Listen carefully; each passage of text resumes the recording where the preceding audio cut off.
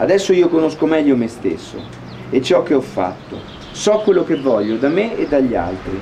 Ho più chiaro in cuor mio che delle mete regalate non hanno valore, poiché vanno prima sognate e poi guadagnate. Questa è la mia conclusione, al di là delle vette raggiunte, dei luoghi esplorati, dei successi ottenuti. Questo è Bonatti.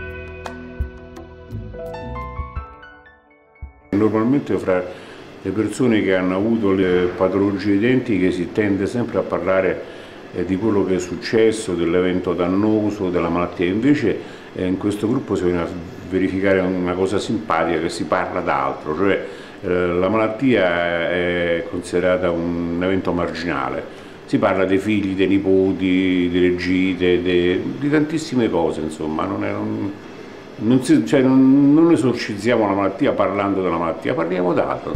Nessuno ha la pressione troppo alta, sono, stanno tutti nel, nel range, qualcuno aveva la, la, frequenza un po' più alta perché dopo uno sforzo è normale, però vanno bene insomma.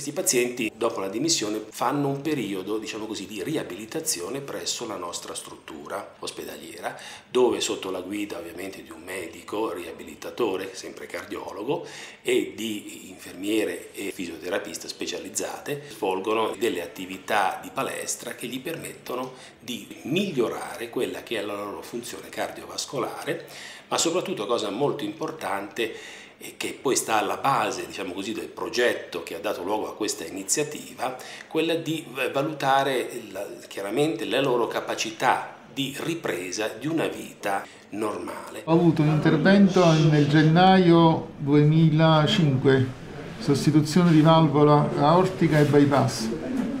Sono clinicamente guarito, però avevo, come dire, psicologicamente non ero guarito, mi sentivo malato sono guarito psicologicamente due anni fa quando sono venuto con voi e abbiamo fatto la cresta. Sulla cresta ho ritrovato l'equilibrio e sono guarito psicologicamente.